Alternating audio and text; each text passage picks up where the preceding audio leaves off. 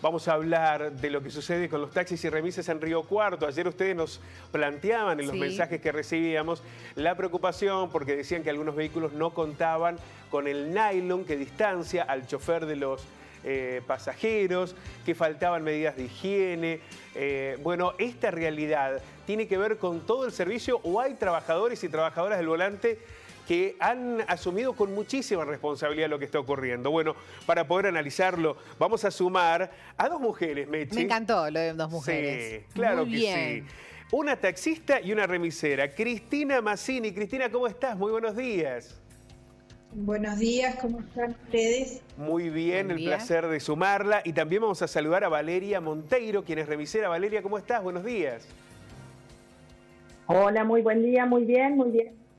Un placer. Bueno, muchísimas gracias a ambas eh, por sumarse a este debate. Lo primero que quiero consultarte, Cristina, es, mira, acá estamos viendo imágenes, entiendo que es de tu vehículo. ¿Qué medidas preventivas, Cristina, se toman para evitar el contagio cada vez que te subís a trabajar en el tacho? Bueno, eh, cada día uno profundiza más la seguridad del vehículo para nuestra propia protección y también para darle la confianza al pasajero de que suba con toda tranquilidad que el auto está en las condiciones que corresponde. Nosotras estamos priorizando la higiene del interior del auto con mucha precaución. Eh, hoy vamos a adherir a nuestros automóviles un rociador con alcohol para tratar de que el pasajero entienda que vamos hasta incluso priorizar la suela del zapato, la zapatilla que lleve para cuando se introduzca en el taxi, eh, que nos permitan rociar su calzado para así tener y manifestar la tranquilidad nuestra también. Perfecto, es bien estricto el protocolo. Valeria, bueno, en los remises eh, pasa exactamente lo mismo. Allá se generó una duda si ese nylon que va entre el conductor y el pasajero era obligatorio o no era obligatorio. ¿Cómo es ese, ese sistema? Mira, eh, yo creo que es necesario. De lo que yo sé, no hay una normativa que imponga que sea estricto, reglamentario.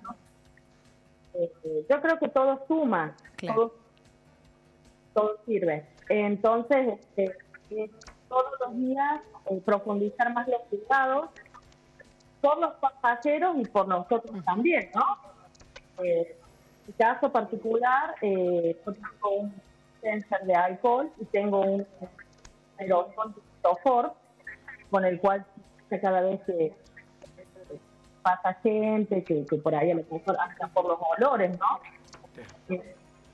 Entonces, eh, yo creo que todo cuidado bueno, no sé si poco, pero que todo lo que podamos hacer suma, eh, no tengo dudas de que sí, para cuidarnos todos, ¿no? ¿Y, qué pasa, Cristina, con los pasajeros o, los, o las pasajeras? ¿Cumplen con el protocolo? Algunos entran sin barbijo y hay que retarlos, hay que darles un tirón de oreja. ¿Cómo es la conducta de los, de los y de las pasajeras? Bueno, eh, yo soy muy observadora de que el pasajero antes de subir al vehículo tenga su barbijo colocado y en el caso de que mm, suba por una puerta que no alcanzaste a ver si lo traía o no, antes de partir con el auto desde la parada, preguntarle, ¿tiene su barbijo colocado? para que sepa que nosotros estamos requiriendo eh, todo, todas, todas las precauciones sanitarias. Eh, algunos eh, muy amablemente se lo colocan.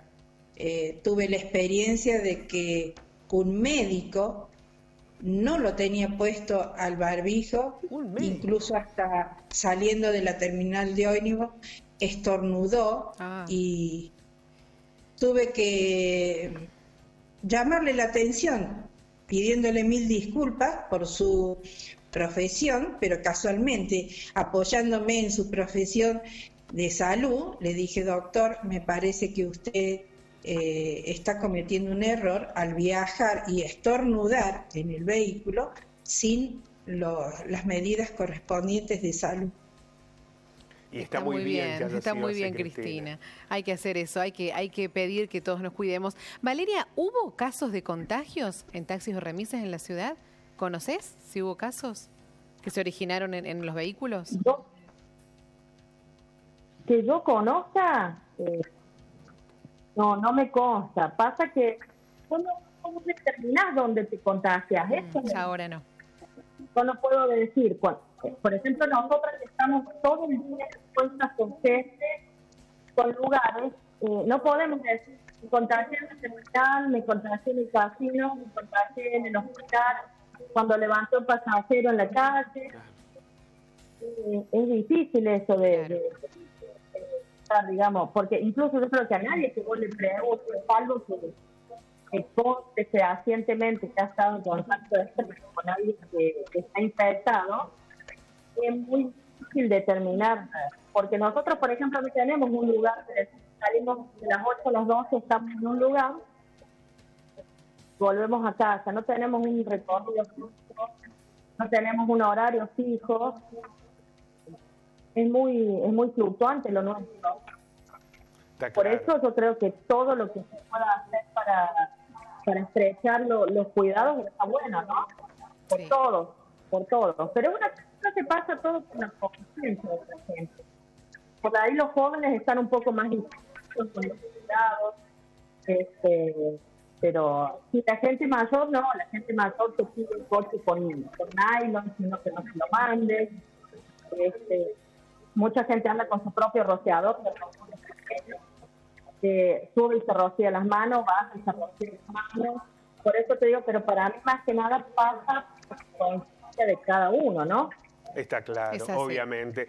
Hay una responsabilidad individual que se tiene que convertir en una responsabilidad colectiva. Estamos insistiendo mucho en esto porque lamentablemente se viene una etapa que va a ser muy difícil para los riocuartenses y ya lo es para muchos argentinos que están transitando por una realidad muy compleja en la que aumentan los casos y faltan las camas. Y en ese contexto es que es necesario asumir eh, esta mirada responsable como la que hemos intentado describir a través del trabajo de ustedes. Cristina, Valeria, quiero agradecerles muchísimo eh, este contacto y a seguir cuidándonos y mucho porque es necesario que todos lo hagamos. Cristina, un, abrazo, muchas gracias.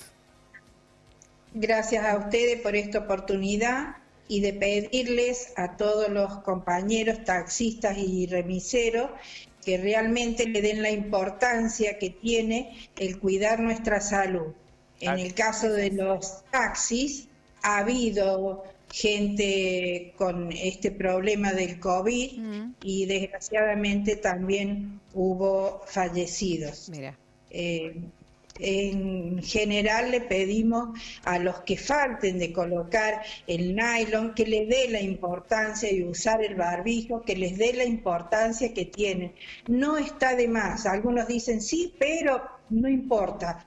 Eh, traten de cuidar la salud porque acuérdense que volvemos a la casa, volvemos a nuestro hogar y que nos están esperando gente que en este momento está sano y nosotros tenemos que volver sanos. Es así, Cristina, es muy valioso este mensaje.